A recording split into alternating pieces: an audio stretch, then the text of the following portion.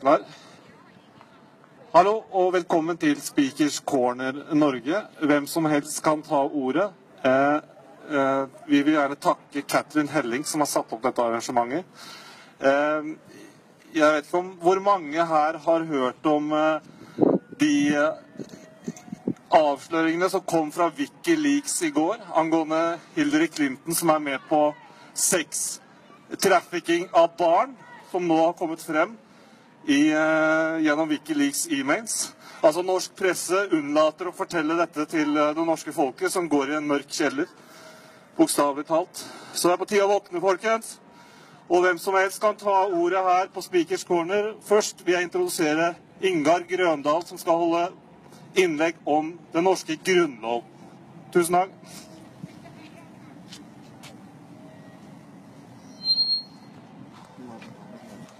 Bare, bare gi meg et par sekunder.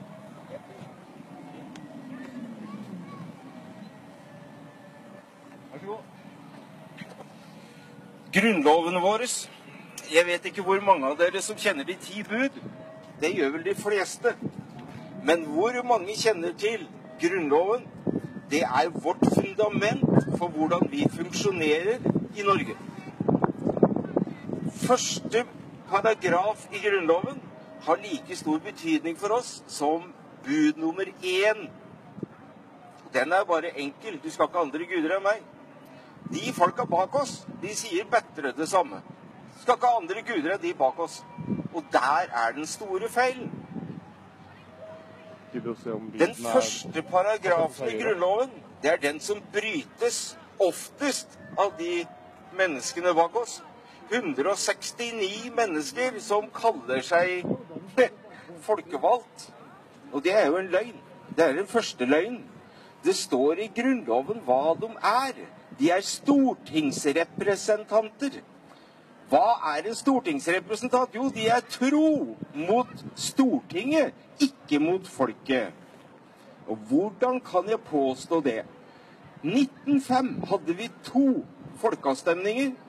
De var rådgivende, og den ble gitt oss av de bak oss. Men det var rådgivende, og merkelig nok, de to første folkeavstemninga vi hadde, de ble fulgt av Stortinget. Det var ut av union med Sverige og vår egen konge. De to neste, den første kom i 1919, og den andre kom i eh, par og 30, husker ikke. Og det gjaldt alkohol. Salg eller ikke. Den ene gangen sa vi at vi ikke skal selge alkohol i Norge. Og den neste så sa at vi skal selge det i Norge. Og det er altså de fire folkeavstemminga på 111 år som ble fulgt av Stortinget. Ganske fantastisk. Dette er såkalt demokrati. Så kom det morsomme. I 1972 da hadde vi en ny folkeavstemning fra Stortinget som de ordna opp i. Og vi sa nei til union med EF. Og av det så tok statsministeren sin hatt og gikk. 1994, den nye morsomme, som er da bare få år gammel, da sa vi nei til union med EU. Og den, sammen med 1972-avstemminga, har de gitt pokker i. Vi har tatt til oss godt og vel ti eller tolv hyllemeter med papir, nye lover ifra EU, skråstrek EØS.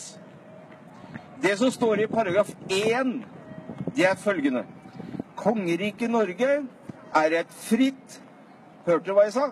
Et fritt, selvstendig, udelelig og husk hva jeg sier nå uavhendelig. Det går ikke an å selge av våre naturressurser av landet vårt. Og den ble brutt ganske mange ganger. Vi vet nå at de backengla bak oss de har solgt over 50 norske vannkraftverk til Great Britain, Storbritannia og til Tyskland. Det er de to landene jeg vet om. Pluss at de har solgt ett eller to vindkraftverk. Sånn er situasjonen. Og vi har paragrafer i Grunnloven utenom nummer én, som er altoverskyggende, som gjelder overalt. Så har vi i tillegg paragraf 112. Der står det tydelig at våre landets, folkets naturressurser, de skal bevares for etterslekta. Det vil si, vi låner landet vårt av våre barn, barnebarn og alle de som kommer etter. Og hvordan kan da de 169, en, under en halv promille av landets velgere, hvordan kan de drive og selge landet vårt? Det er ikke lov. Men ingen reagerer. Hvor mange av dere som nå hører på dette her, vet hva som står i paragraf 1 og 112? Det går an å slå opp lovdata.no. Les. Disse her eh, linkene til Norges grunnlov er lett å finne. Og da kan du lese sjøl. Jeg står ikke her og ljuger. Det er så enkelt å finne ut om det er løgn eller ikke. Mens de folka bak oss, nok en gang, de overser teksten i Norges grunnlov. Norges grunnlov har 121 paragrafer. Det er nesten vanskelig å finne paragrafer som ikke lages krøll med fra de 169.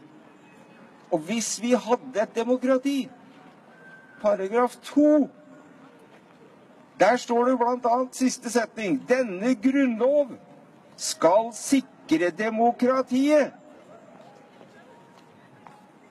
Hvis dere nå tenker over hva som skjer, hvordan kan de sikre demokratiet når vi ikke har det? Det finnes ikke demokrati i Norge på landsnivå. Derimot finnes det demokrati på lokalt nivå. Litt. Men vi vet ikke hva som står i Grunnloven, og dermed så kan vi ikke krangle. Selv om vi skriver kilometervis med underskriftslister, demonstrerer for alt mellom himmel og jord, oppretter Facebook-sider Å, herregud. Det er ufattelig hva vi gjør. Men vi gjør ingenting som gir resultater. Vi må lære oss én ting som de 169 bak her ikke klarer. Min påstand, og du vet det er sant, samarbeid. De aner ikke hva samarbeid er. Utenom når det gjelder negative ting for det norske folk. Da står Stortinget samlet med alle partier. Det er nesten vanskelig å se hvilket parti som støtter folket. Nå er jeg slem, men dette vet dere hvis dere gidder å se litt på Norges grunnlov. Det er sider på Facebook som har med Grunnloven å gjøre. Søk de opp. Les. Skriv hva du føler. Still spørsmål. Og dere vil, håper jeg, få svar. Dere, I hvert fall finner dere linker til Grunnloven.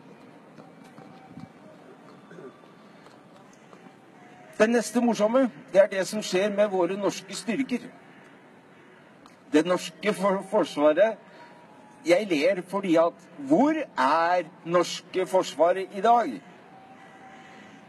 På slutten av 90-tallet så hadde vi 80 000 80 000 80 Hørte du hva jeg sa? 80 000 HV-soldater på papiret. Nå er forslaget å redusere det til 25 000.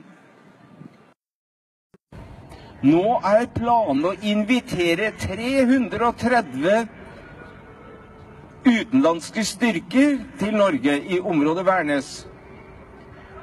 Grunnloven sier nei. Nei! Men hva hjelper det at Grunnloven sier nei, når vi ikke vet at den sier nei? Og dette er ikke løgn. Du kan kontrollere det sjøl. Let i paragraf 25 og 26. Det har med våre norske styrker å gjøre. Hvem er det som reduserer Forsvaret? De 169 bak oss. Jeg sa litt tidligere det er en halv promille, under en halv promille. Men så står det noe mer morsomt i Grunnloven. Det må være minimum 50% av de 169 til stede når det er votering, stemming. Halvparten. Halvparten er 85. Og så står det i Grunnloven at det krever alminnelig flertall, og eventuelt grunnlovsendringer, så skal det være to tredjedels flertall. Husker du hva jeg sa? 85 er halvparten som må være der. Og så simpelt flertall, som altså halvparten av de 85 De må da stemme ja for at det skal bli godtatt. Da er vi nede i 43 nisser! 43 stortingsrepresentanter som styrer, overstyrer den norske befolkning. Ca. 3,7 millioner mennesker over 18 år. Vi blir overstyrt i et demokrati av disse backengla bak oss. Jeg klarer ikke å godta sånt tull. Det eksisterer ikke, ikke demokrati i dette lille steinlandet vårt. Det er et steinland. Vi har 3% landbruksjord i dette lille landet. Og ca. 12% av de tre ligger brakk. Paragraf 112. Alle dere som driver med landbruk og fiske. Paragraf 112. Paragraf 1 i tillegg. Paragraf 2 som står at Grunnloven skal sikre demokratiet. Gjør noe! Dere må gjøre noe nå! Snart er det valg. Og gjør vi ingenting før valg, så er det parlamentarismen som fortsetter. Det vil si diktaturet på Stortinget. Vi har en egen side på Facebook som har med det å gjøre også. Vi som har imot diktaturet på Stortinget, søk deg opp, bli medlem, les, si din mening.